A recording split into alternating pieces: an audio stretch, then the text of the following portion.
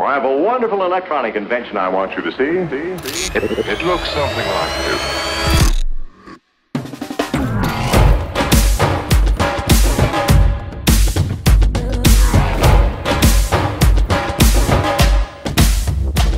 What is up guys, Julien Miquel here of Social Vignerons. Welcome back to another wine video. This is episode number three of Julien's three and a half minute wine school. This series where we share and explore the wonderful world of wine together and where I intend to share everything that I know about wine. So yesterday we looked at how to open a bottle of wine with a regular uh, corkscrew. So if you haven't watched episode number two, I will link to it uh, right here. And episode number one was about how to taste wine, different phases of tasting wine. So exploring step by step simple things initially before we go a little bit deeper into wine regions and grape varieties so you can soon become a pro, an expert about wine if you follow along this journey. So today we are going to be looking at the second step of uh, before you taste your wine, how to pour your wine a little bit better and kind of a bit of a classier, more confident way than what you've perhaps been doing so far. So first off, once your bottle is uncorked,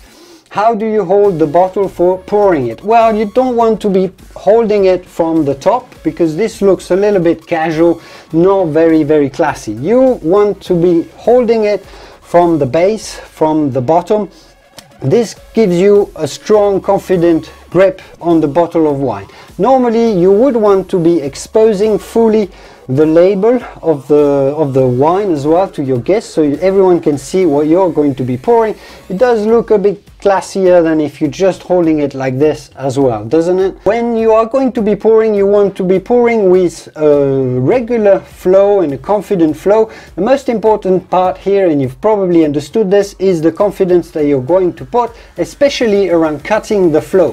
When you are going to be cutting the flow you want to be firm strong and rather quick and you want to be twisting the bottle slightly. This will allow for the drop to flow around the bottle rather than down on the bottle and down on the table. So this should allow you to avoid staining your bottle of wine. So but at the end of the day it doesn't have to be super complicated. You just have to practice a little bit and just be confident and know these few tricks and tips that I'm giving you right now. So you just start pouring.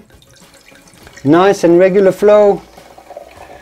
Once you're done just cut it and twist the bottle, grab a tissue or napkin and uh, you just clean the drop of wine that may fall onto your wine and that's pretty much it really. Uh, so just remember to cut the flow of wine rather quickly. Let's do it again and twist your bottle of wine and then you just wipe it uh, with your cloths. And uh, that's just about it really.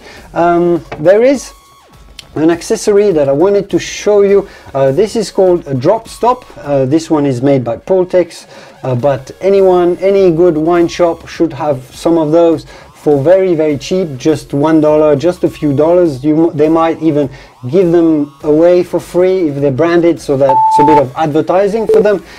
Those are really, really handy.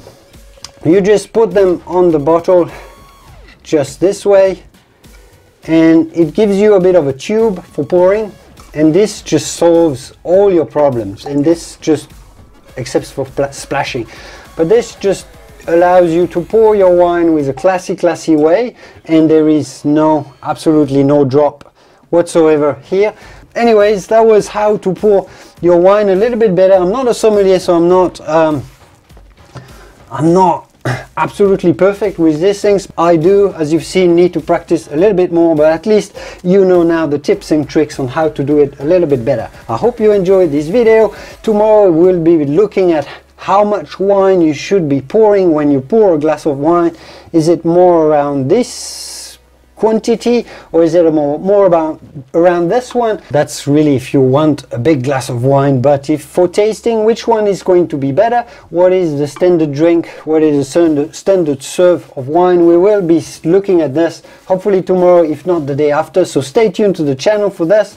I hope you enjoyed this video and I will see you soon in the world of wine